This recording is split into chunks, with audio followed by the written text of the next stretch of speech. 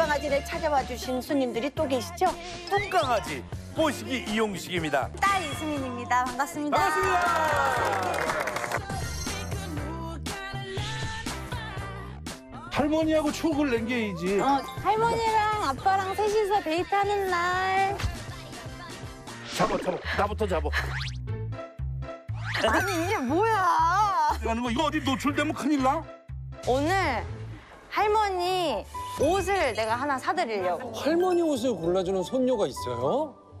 와, 진짜 대단하다. 골라봐. 저는 저런 손녀가 있으면 좋겠어요. 나도. 잘 어울리겠지? 마음에 안 들면 어떡하지? 나온다.